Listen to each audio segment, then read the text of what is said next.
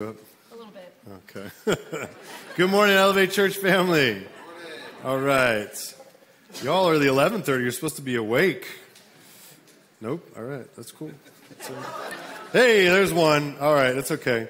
Hey, if you if you first time here, yes, we do have fun in church. Uh, fun is one of our values, and uh, laughter does good like medicine. So let's laugh a little and get healed and get get cured from our ailments. Amen.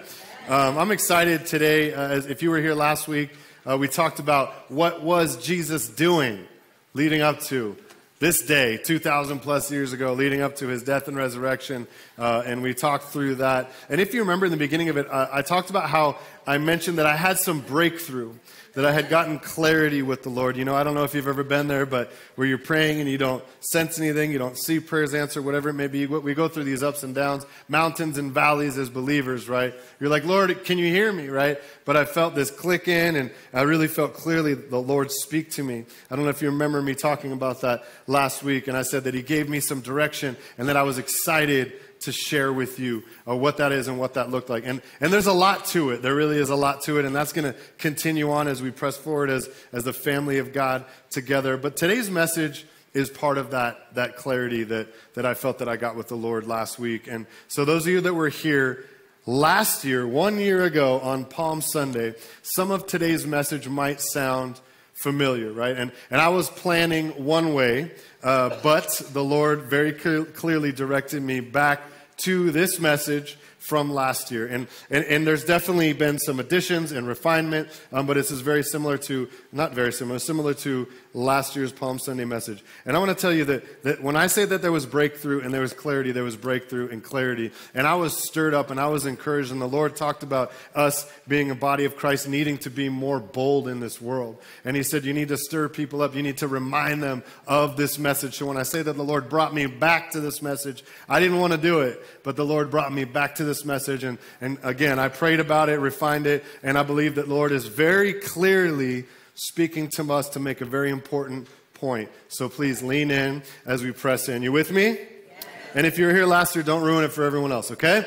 All right. So again, today, as we know, today's Palm Sunday, uh, and it's a lead in to Holy Week, as most of us uh, know. And what I remember as a kid, Palm Sunday at church was that we had palm leaves handed out at the door, and we always ended up making crosses out of them by the end of the day, right? And we had those crosses. Sometimes we did sword fighting and hit each other over the head during Mass uh, with those palm leaves, right? Um, and I, I, that is something that I remember about Palm Sunday. And I would say that I sort of knew the meaning, but it mostly just meant to me that I could look forward to candy and spring break, right? Candy and spring break. If you're with me when you're a kid, I don't know. But, but uh, let's talk about Cadbury eggs again. No? St- nobody, still nobody brought me one, but that's okay. We'll see. Uh, no, it's okay. Um, nobody, nobody cares. I'm just kidding. Uh, jelly beans and Cadbury eggs. So, um, so I would like to bring a little context to Palm Sunday as we talk through the Word of God today. Uh, many of us know that Palm, where, where, the, where the term Palm Sunday came, th- uh, came from, and so I really want to give it context, and we're going to talk through it. Before we get into the Word, we are known as a church that prays too much, and I like that reputation. So let's pray. Heavenly Father, I thank you, Lord, so much that your joy truly has preceded us in this place today, Lord. And I thank you that your word says the joy of the Lord is our strength, Lord. So thank you for strengthening us with your joy, Lord. I thank you that your word truly is living and active. Thank you, Lord, that it never returns void, Lord. Thank you for speaking to us as your children, Lord. We lean in today, we turn our hearts toward you, and we ask you to speak a word in season as we lean in and listen to you and, and ask for your guidance today. In Jesus' name we pray. Amen. Amen. All right, so like I said, many of us know that, that, that in this time Jesus is processing into Jerusalem, and that's where we get Palm Sunday, and we'll talk through that. And, and this is during Passover that he's processing into Jerusalem, and, and, the people at that time begin to throw their coats down and palm leaves down as he rode into the city. And some of us also know that this was one of the many times during Jesus' ministry, during his 33 years on this earth, that prophecy was being fulfilled right, right before their very eyes. And we read about one of those prophecies in Zechariah 9, verse 9. And verse 9 says, Rejoice greatly, O daughter of Zion. Shout, O daughter of Jerusalem. Behold, your king is coming to you. He is just and having salvation, lowly and riding on a donkey, a colt, the foal of a donkey. So here we have 450 to 500 years prior to Jesus' arrival in Jerusalem. The prophet Zechariah had already prophesied the event that was unfolding before their eyes at that time, and that is the event that we now call Palm Sunday, where we are celebrating today. And if you know uh, that song, Hosanna, that we just sang, ha- uh, very much has meaning because they were saying Hosanna. And, that, and Hosanna means save now, please save us. Salvation is here, thank you. It means all those things. So when we're singing Hosanna, it's not just a Christianese term that we've heard in church, it means save now. Like they were declaring, thank you, Lord, for salvation because it's right in front of our eyes. And that's so that's why we sing that song Hosanna. And we can read about that in Matthew 21, verse 9. It says, Then the multitudes who went before and those who followed cried out, saying, Hosanna to the Son of David. Blessed is he who comes in the name of the Lord. Hosanna in the highest. And in a minute, we're going to uh, read through Luke's account of what happened on that Palm Sunday and, and Jesus processing into the city on that first Palm Sunday. And you can find that in Luke 19. Luke 19, verse 28. If you have your Bibles, go ahead and open up to them. Um, to prepare yourself, put a pen there, your finger there, your marker there, whatever it may be. But first, before we read through that, I want to draw your attentions to the screen, and I want to show you this, this little video to see if any of us can relate to something here. Oh, I, yeah. Hey, oh, texting and walking. What? Oh, no. That was I think you had guardian angel, and so did she. I know I've done this. I mean, I, I if you didn't, then I don't know. This guy I feel bad for here. Oh, that one hurt. Another one, we'll pray for him. Oh, don't text and walk downstairs. There's a banana peel right there. Uh, no? Oh, there she goes in the door. This, ooh, ah. This one, oh my goodness. In Jesus' name, she was okay. All right, that's, that's good. Wow. Now, okay, can you relate? No? Ever been there texting and walking on the phone, running in? Wow, you guys are just really good at texting and walking. Are you as good at as texting as driving? No. Oh, good. Okay, we shouldn't be doing that, right? How many of us can relate? Really? Like, can you relate to that, right? Right. When we're not paying attention, we can miss it. A door, a lake, a hole, right? And sometimes, by the looks of that, it can be very painful. Amen? And so the message title today is Don't Miss It. Don't miss it. Don't miss it. So let's get into the word, and we're going to read from Luke 19, and we'll start in verse 28. When he had said this, he went on ahead, going up to Jerusalem. And it came to pass, when he drew near to Bethphage and Bethany, at the mountain called Olivet, that he sent two of his disciples, saying, Go into the village opposite you, where as you enter, you will find a colt tied, on which no one has ever sat. Loose it and bring it here. And if anyone asks you, Why are you loosing it? Thus you shall say to him, Because the Lord has need of it because this is the only time that theft was okay. Okay, so don't follow in the footsteps. All right. So those who were sent went their way, and they found it just as he had said to them. But as they were loosing the colt, the others of it, I'm sorry, the owners of it, said to them, Why are you loosing the colt? And they said, just as uh, obediently, they said, The Lord has need of him. Then they brought him to Jesus, and they threw their own clothes on the colt, and they set Jesus on him. And as he went, many spread their clothes on the road. Then, as he was drawing near to the descent of the Mount of Olives, the whole multitude of the disciples began to rejoice and praise God with a loud voice for all the mighty works they had seen, saying, Blessed is the King who comes in the name of the Lord, peace in heaven and glory in the highest. And some of the Pharisees called to him from the crowd, Teacher, rebuke your disciples. But he answered and said to them, I tell you, that if these should keep silence, the stones would immediately cry out. Now, as we drew near to him, I'm sorry, as he drew near, he saw the city and he wept over it, saying, If you had known, even you, especially in this your day, the things that make for your peace, but now they are hidden from your eyes. For days will come upon you when your enemies will build an embankment around you, surround you, and close you in on every side, and level you and your children within you to the ground. And they will not leave in you one stone upon another, because you did not know the time of your visitation. They didn't know the time of the visitation. So, we're going to kind of dissect this and walk through this passage of Scripture. And I have a little bit of a description with some reflection points on this passage that I want to talk through with you first, and then we'll really get into it. So um, let's talk about what we just read. Uh, we just read the triumphal entry into Jerusalem, right? And this event marks the beginning of, like I said, what we now call Holy Week, right? It's a time when Christians around the world remember and reflect on the passion, the death, and the resurrection of Jesus Christ. And as Jesus enters Jerusalem, the crowds are welcoming him, welcoming him with joy. They're, they're praising him. They're shouting, Blessed is the King who comes in the name of the Lord. And they lay down their cloaks. They lay down their palm branches, where we get Palm Sunday from, right? A symbol of victory and triumph at his feet. However, as we just read, Jesus knows that his entry into Jerusalem is not the kind of triumph that the people expect. He knows that he's on his way to the cross where he will suffer and die for the sins of humanity. And as we reflect on this scripture, we can learn several important lessons. I have three of them. The first one is we can see the importance of recognizing Jesus, our King and Savior. We must acknowledge him as the one who comes in the name of the Lord, just like they shouted, and place our trust in him. Second, we see the importance of humility, right? Jesus enters Jerusalem on a donkey.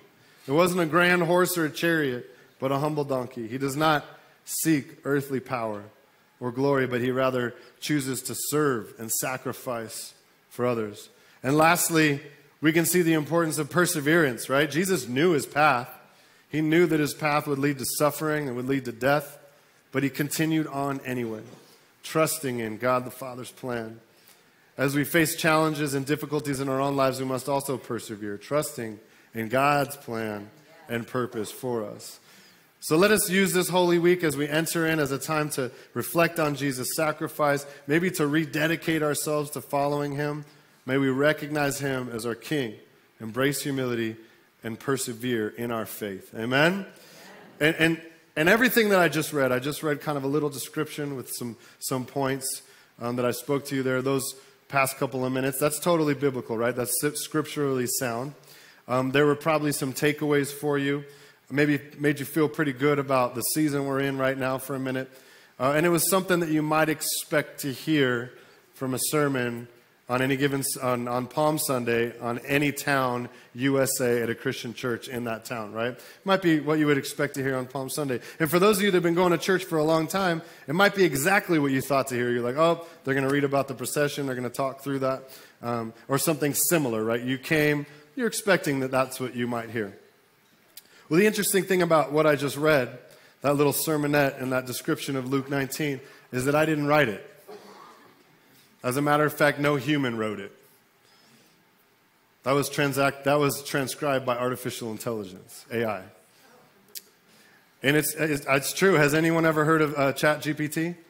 You heard, some of you have, right? There's a lot of talk of it, uh, of Chat GPT and other AI projects right now that are growing. Technology is, is improving very fast. And so I went to this website called OpenAI. I started an account and I typed in the chatbot real quick. Write a short sermon on Luke 19, 28 through 44. And that's what it spit out. Just boom, starts transcribing it immediately. Biblically sound, scripturally sound, all pulled from the internet, right?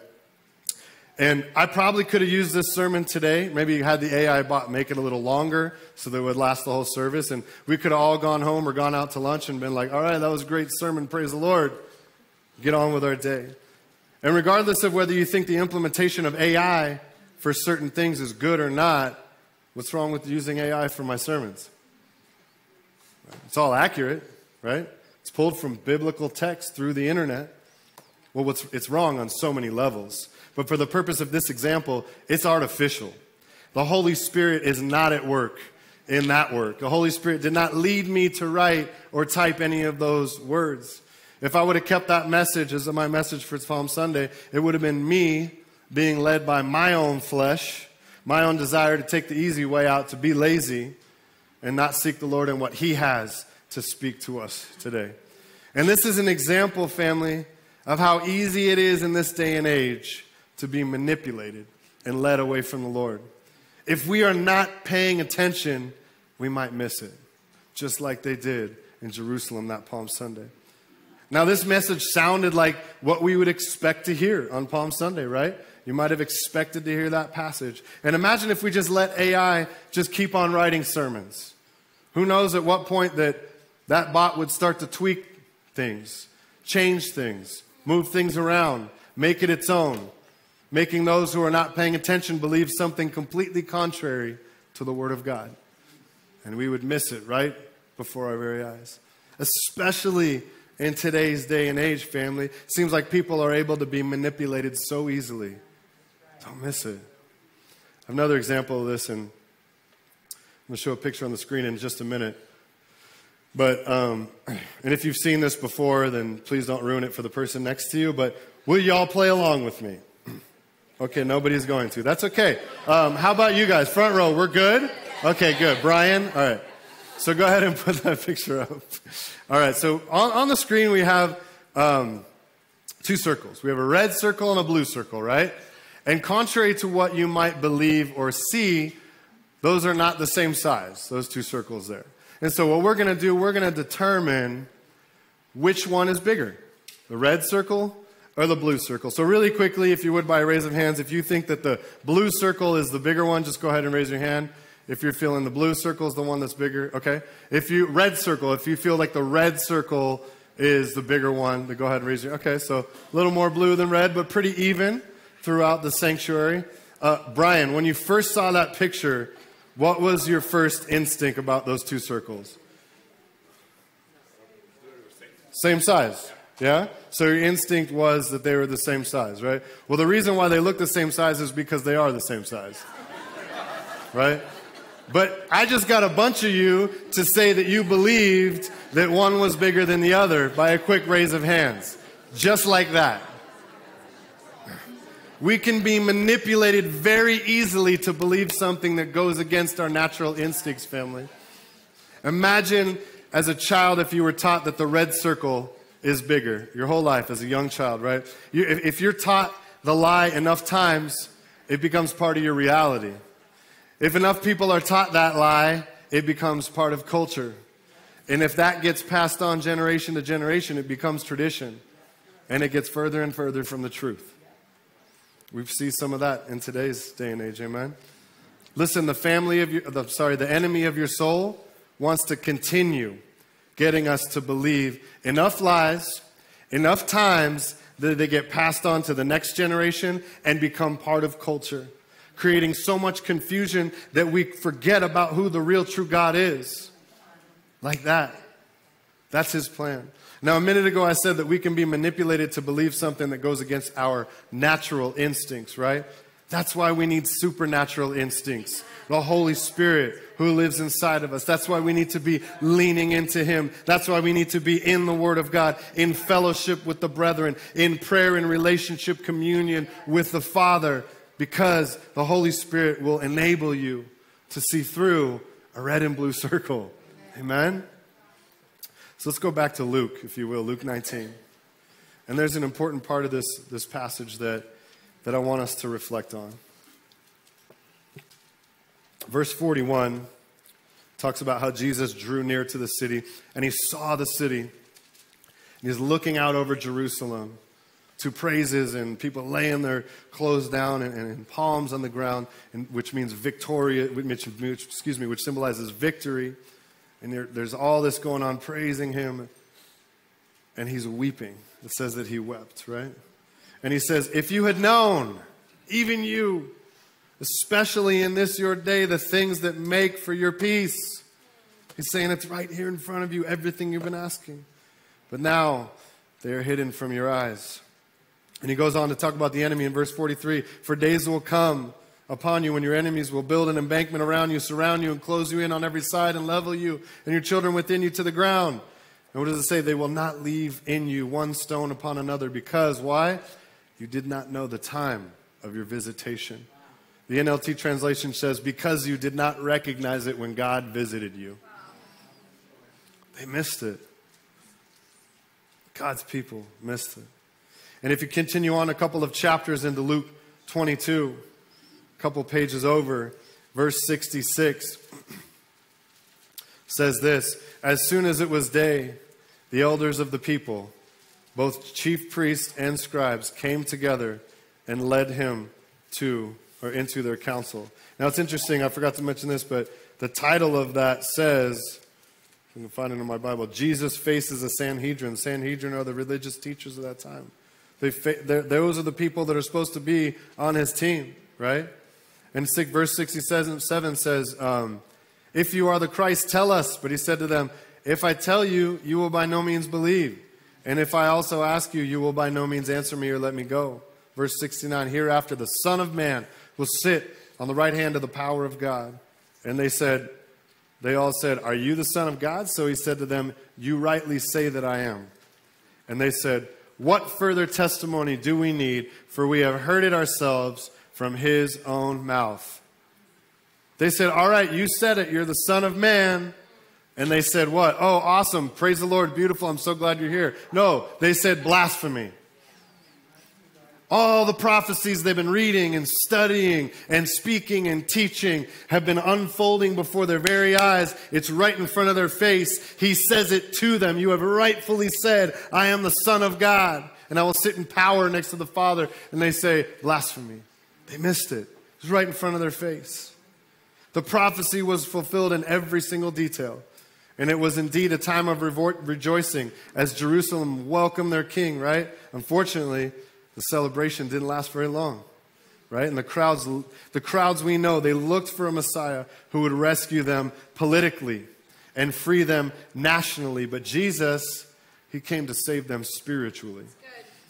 Jesus' plan is always first things first. He wants to get the first things first done. And he knows that, that mankind's primary need is spiritual salvation, not political, cultural, or national salvation. Spiritual salvation. And this was not what the people had expected, right? This is not what the people expected the new kingdom rule that they had been hearing about, reading about, listening to their whole life would look like. They were ready to see God come in and just take out the Romans, take out the Roman rule, get rid of the Roman oppression that had been on their people for so long. They thought that's what it would look like when the king rode in. But God had other plans. This was not God's plan. He was actually bringing the peace that they had been crying out for, but it was on such a higher level that they could never they could ever fathom, and a majority of them missed it. And, and, and family, this is parallel to our lives in so many ways. We get so caught up in what we expect life to look like.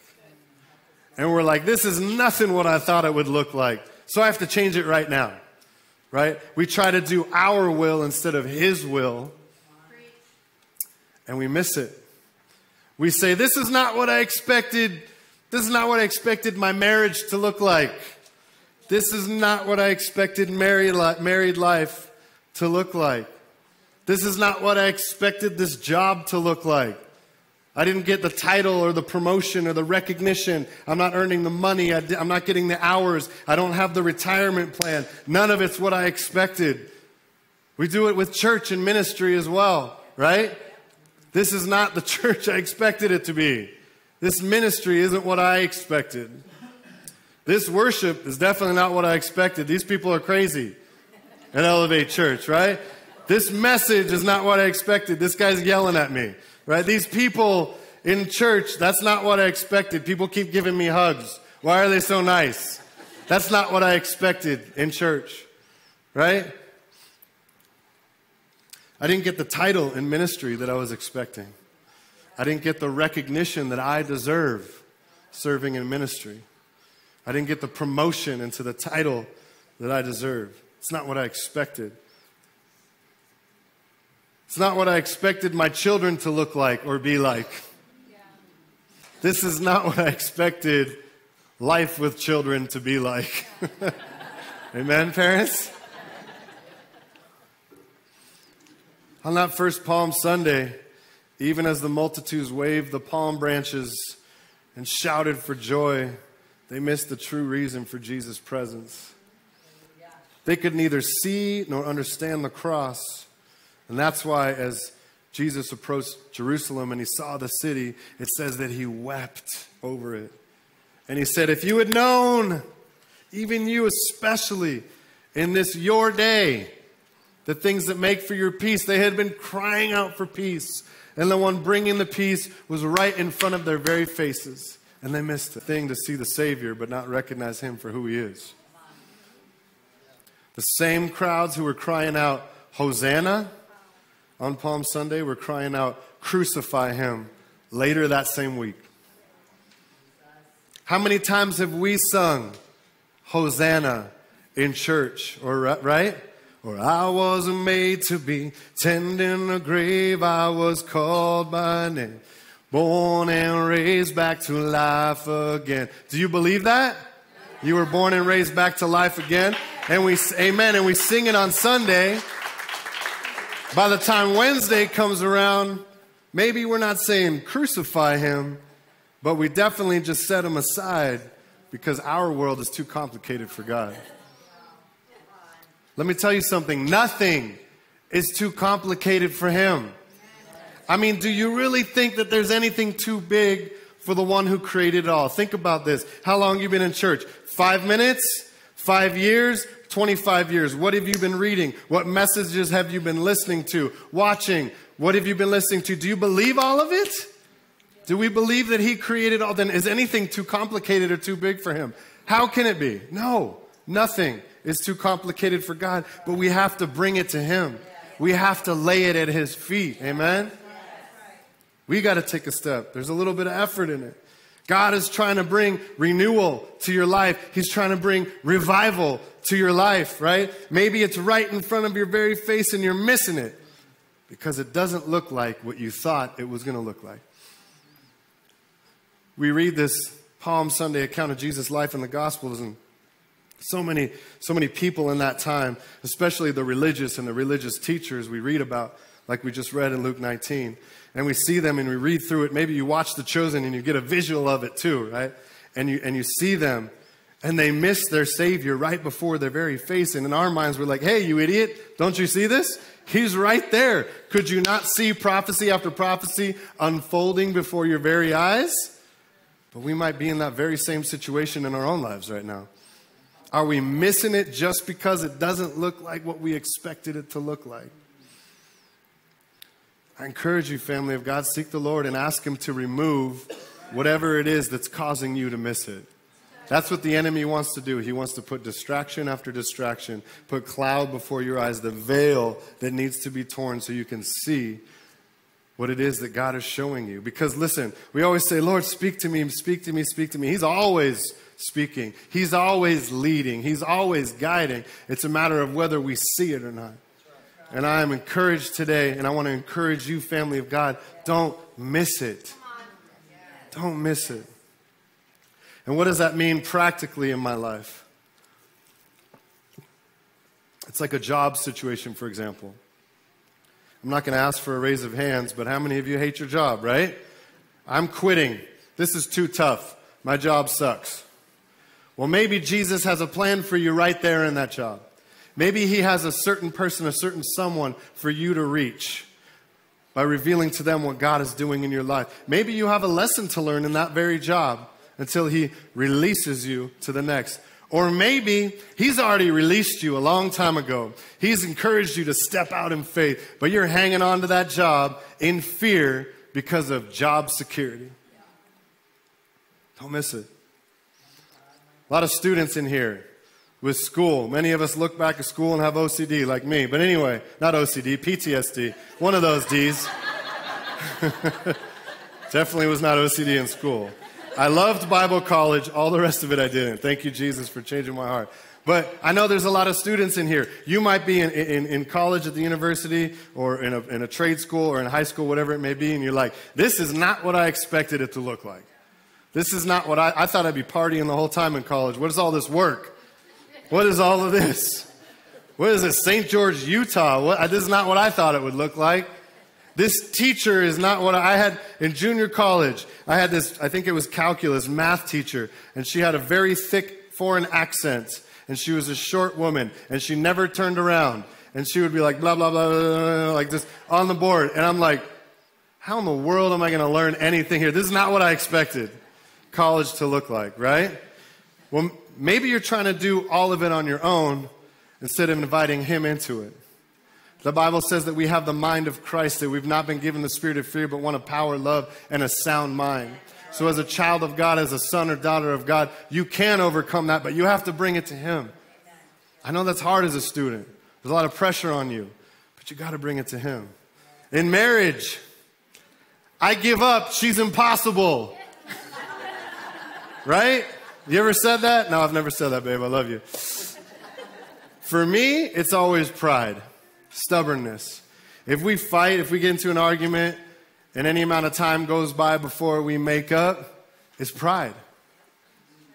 It's my pride that didn't allow me to stop, take a beat, and talk it through. Right? Amen. Amen. But I'll tell you what, husbands, wives, don't miss the opportunity for growth through grace and love. Love is a weapon. Use it. Use it in your marriage, use it in your relationships. Amen. Moving. Oh, we all have a habit of doing this. Life is too difficult here. I'm out. See ya. I'm moving. Family, maybe he's trying to refine you and teach you so you can thrive right here where you are. Maybe you're called to the city. Maybe you're not. On the other hand, look, if it's his will, please follow the will of God, but know his will. If the Lord is leading you, if the Holy Spirit is leading you to move somewhere else, awesome. But if you're just moving to get away from difficulty, I, I can tell you that's probably the not, not the right step. But if you're following the lead in the Holy Spirit, I'm not going to stop you. Move to Timbuktu. If that's what God is telling you to do, just make sure you're in the will of God. Amen? Our health. We talked about this last week. We have to bring it to His feet, right? So many of us are in the habit of just Eh, the diagnosis is what it is. Oh, well, the world says to do this, the doctor says to do that, everybody says to do this, is what I'm going to do. Well, guess what? We serve the great physician. We have to bring it to the feet of Jesus, family. His promise is that your healing shall spring forth speedily, that you are the healed of the Lord. The Bible says that by his stripes you are healed. But you got to bring it to him, family. Amen? Amen. Your healing is yours on that clap in there. Hallelujah. Leaving the church. It's quiet up in here. Wow. This person said this, that person said that. Over at Elevate Church, they're too teachy, too preachy. It's too cold in the sanctuary. It's too hot in the sanctuary. They don't have enough programs. The chairs are too big. The chairs are too small. I don't like the red color, right? Whatever it may be.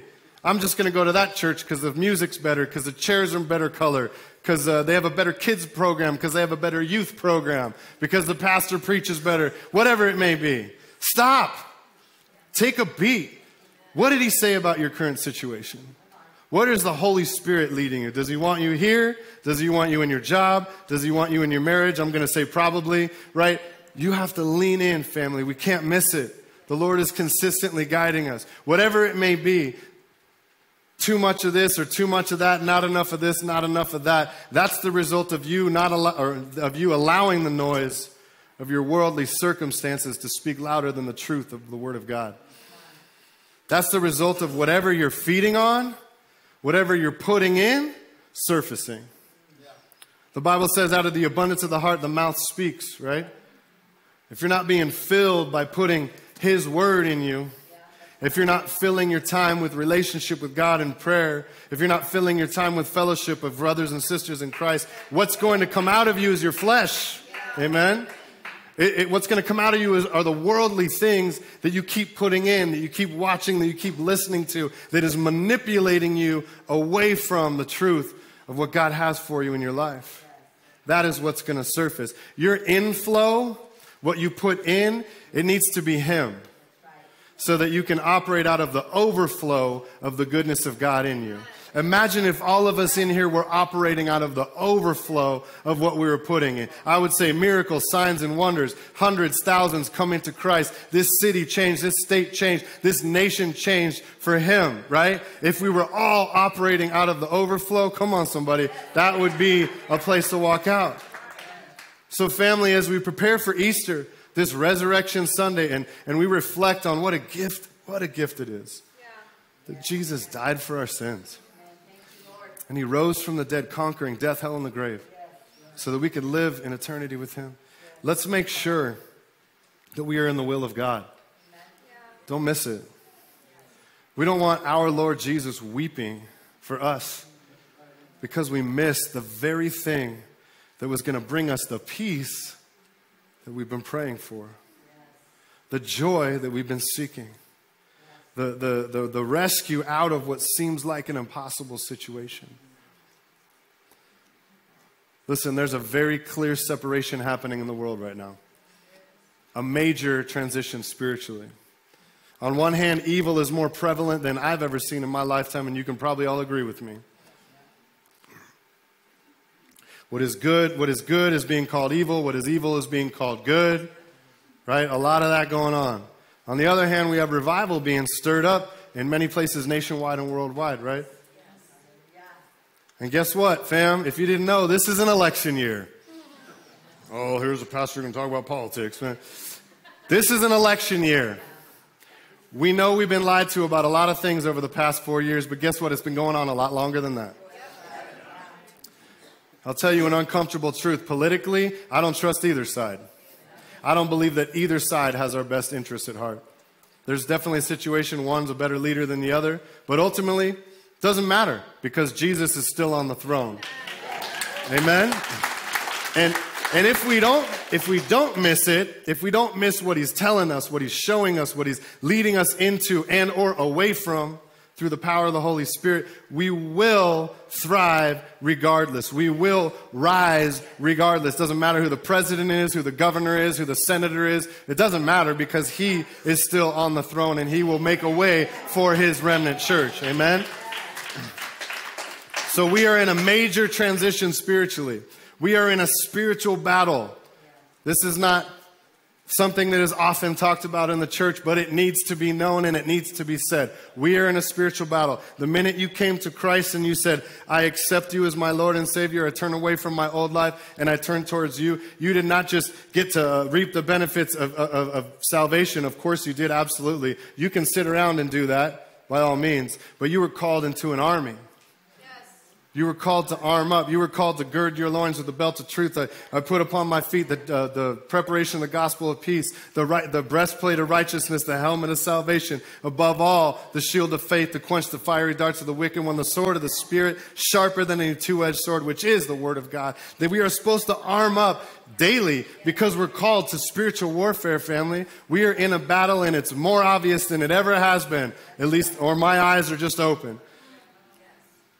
We are in a major transition spiritually. We are in a spiritual battle. And I believe the warfare is over the gates of our eyes, the eye gate, and in our ears. What are you watching? What are you looking at? What are you listening to? Our eyes are the windows to the soul. Right now, there's mass propaganda so that we won't see what's really going on in the spirit realm. Mass propaganda politically, in business, in the media, whatever it may be, it's blanketed, right? Satan always creates illusions that create confusion. That's just what he does from the beginning of time. We talked about AI. This technology is advancing very rapidly, right? Pictures, videos, voices can all be altered. They can make you look like you were somewhere you where you never were, saying things that you never said. That's happening now. The confusion is to get you to forget who you are in Christ, to get you to miss it. The media's job, family, is to distract us from the truth, not to report the truth. I'm just telling you that. That's the truth. they get obsessed with celebrities, celebrity lifestyle. They get obsessed with politics, and we get pulled right in, just like the red dot is bigger than the blue dot. And the enemy wants us consuming. The enemy wants us mindlessly scrolling, trying to keep ourselves full, trying to keep ourselves entertained, trying to keep us to go along with whatever the world is doing, to distract us what God has right in front of our very face. While everyone is sheepishly, sheepishly consuming, as children of God, as daughters, as sons of God, we are called and we are supposed to be producing, not consuming. There are things happening all around us, family. Leaders are falling, other leaders are rising. It's happening.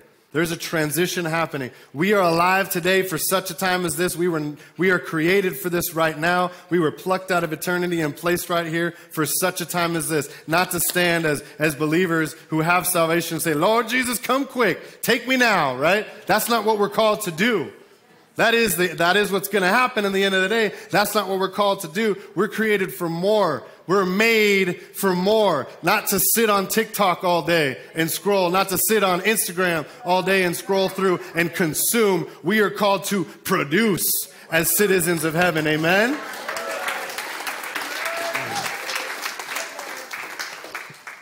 We are citizens of the kingdom of heaven. What are we called to do as the church, as the body of Christ in a time like this? Do we believe that we're called for a purpose? Yes. Amen for such a time as this.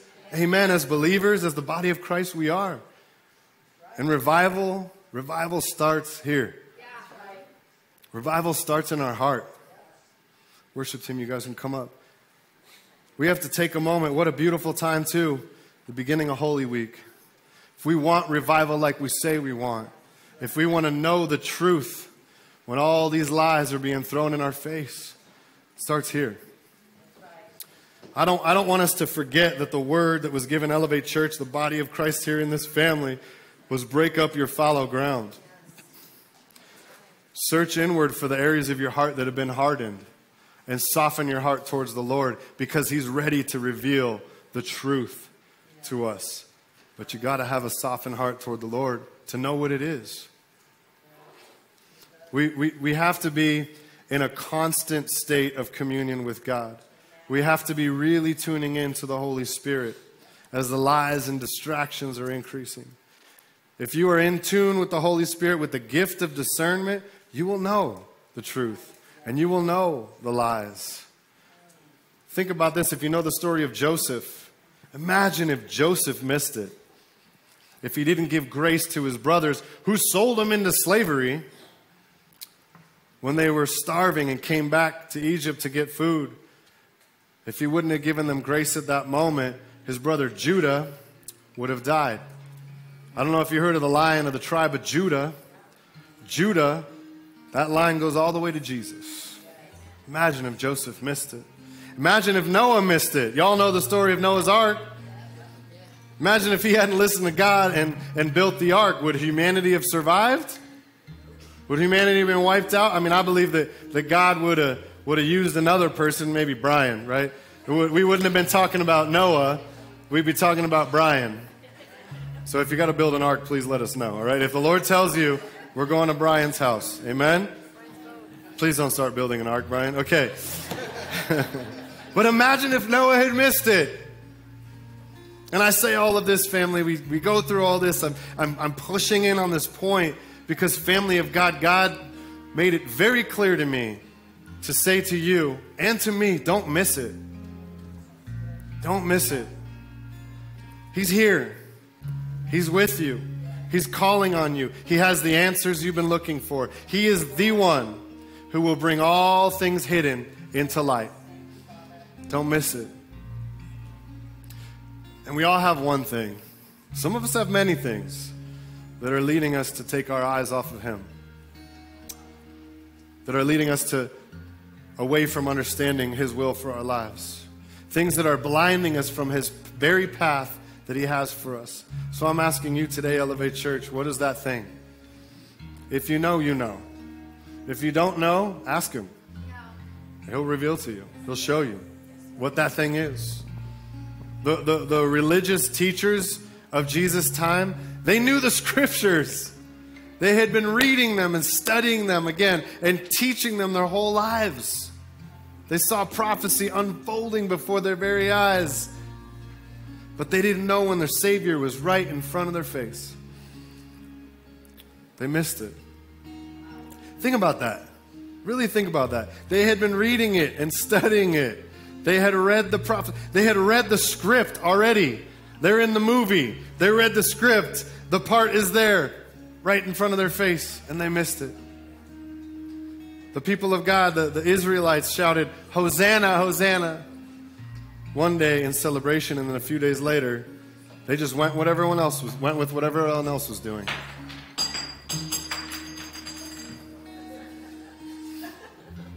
Praise the Lord. The power of the Holy Spirit has hit Angelo, and he doesn't need batteries in his microphone anymore. God has given you a voice that amplifies beyond the power of a microphone. In Jesus' name. Come on, somebody. Hallelujah. and he didn't miss it. No, he didn't miss it. Amen. They stopped paying attention. They had seen Jesus right before their face, riding in on a donkey, just like Zechariah 9, 450, 500 years earlier had been prophesied, right in front of their face. They missed it. And the next thing you know, they're shouting, Crucify him! Crucify him. This is why Jesus was weeping when he was riding into Jerusalem. He wasn't weeping because he was about to go experience death. That would be a reason to weep. He was about to go experience your sin and my sin, all sin upon him, the heaviness that he must have felt. That's not why he was weeping. He was weeping because he knew that all those who were celebrating him and saying, Hosanna in the highest, blessed is he who comes in the name of the Lord, laying down palm trees or palm leaves and clothes and everything as he processes into the city, he knew that a few days later, they'd give him over to be crucified, that they would miss it he was the answer to the peace they had been asking for. And they missed it. So, family of God, this is Holy Week. What a time to seek the Lord like never before in your life. What a time to finally put down, put aside, push away whatever it is that might cause you to miss what the living God has for you. Go ahead and close your eyes and bow your heads.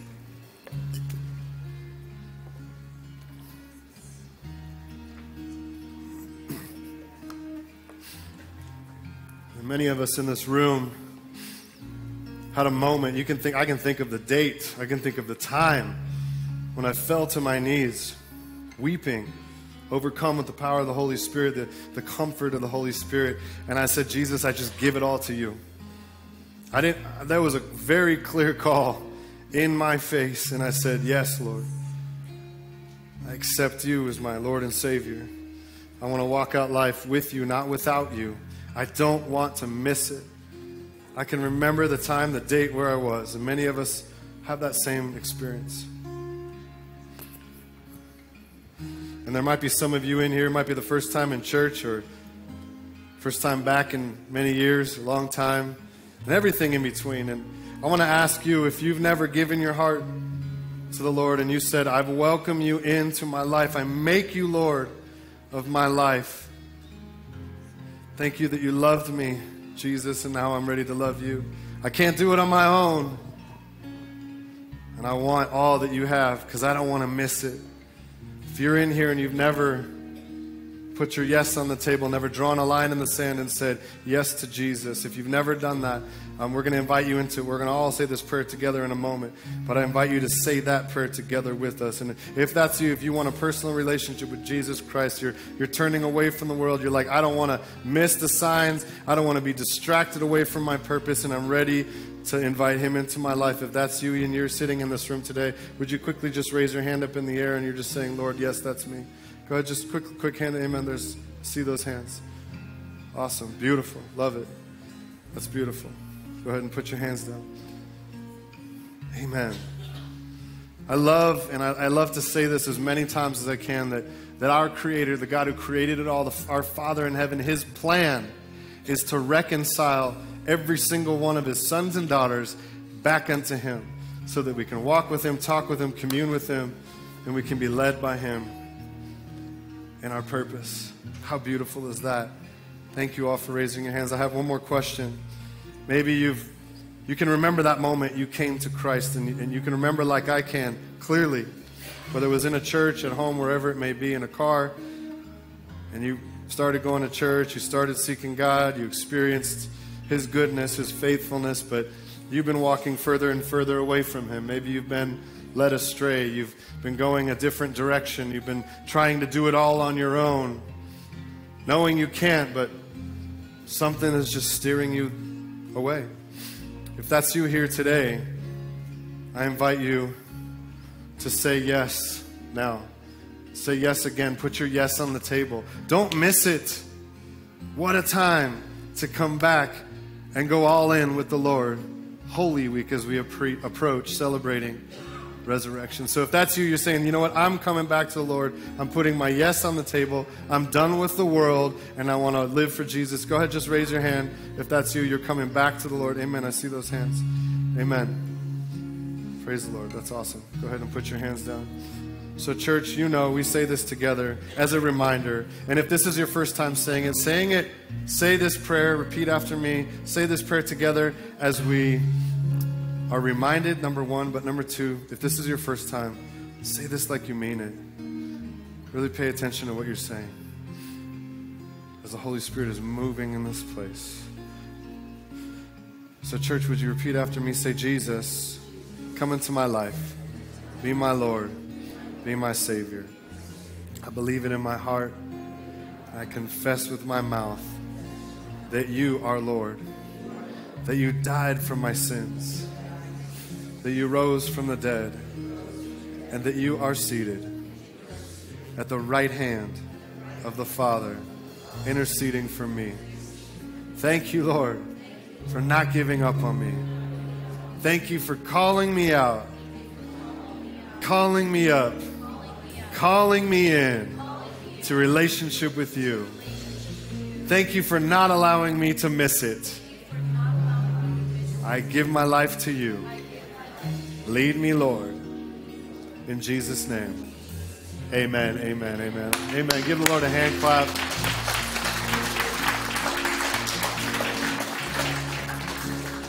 My heart, my prayer is that you were encouraged today and maybe redirected toward the Lord. And, and I say this again, I'm not kidding when I had a moment of clarity with the Lord, when I say I had a moment of clarity with the Lord. And he said, You have to tell them, don't miss it. You have to tell them, don't miss it. He said to me, Nick, don't miss it. So I encourage you to seek the. This is Holy Week, family. We're entering into a fast. Some of the leaders, we're fasting this week for souls. We're fasting for ourselves, for our families, but we're also fasting for souls. I encourage you to join us, seek the Lord and what that looks like. Dive in like never before so that you don't miss it, family. It's coming at us faster than we're ready for it. But if we are standing firm on that firm foundation, we will be ready for it. And like I said, the remnant church will rise, the remnant church will sustain, and the remnant church will thrive. What an honor to be called for such a time as this. Amen. Amen. Go ahead and stand to your feet. And we're going to sing Hosanna again. But I want you to sing it differently this time. Don't sing it like the Israelites, like the religious teachers of that time, the disciples of the time who sang it, sang Hosanna, but then a few days later said, Crucify him. No, let's sing Hosanna, which means save us, which means thank you for salvation. Let's sing it like we know it, like we mean it, like we've put our yes on the table. Thank you, Lord, for salvation. Thank you for eternal life. And family, this is Many of you put your yes on the table or back on the table, if you will, today. And I encourage you, we have prayer available to you, a prayer team in this corner and that corner, ready to pray for you. They've been interceding for you already. Anytime during this next song, please step out of your seat, receive prayer. If you said that prayer for the first time, or if you rededicated your life to Jesus, please see one of our prayer team members. They would love to pray for you, pray over you, and stand in agreement for what you're believing God for. Prayer is an important part of not missing it. It's an important part of walking with the Lord. Amen. So please, if you feel that tug in your heart anytime during this next song, please receive prayer any side of the sanctuary. They'll stay after for you as well. We are here to pray for you and pray with you. Amen. Let's go ahead and lift a hand to heaven before we worship. Heavenly Father, thank you, Lord. Thank you that your joy is our strength. Thank you for revealing yourself to us. Thank you for speaking. Thank you for leading. Thank you for guiding. Thank you that you're right here before us, Lord. Give us eyes to see, our ears to hear, and a heart open so that we don't miss it, so that we walk with you, Lord. And the ripple effect of what you're doing right here will build your kingdom, will bring many to you, will bring many more, hundreds, thousands, will exalt the name of Jesus, the name of at which every knee shall bow and every tongue confess. And today, as we sing Hosanna, Lord God, we exalt your name above anything and all things in our life. We glorify your name. In Jesus' name we pray. Amen. Amen.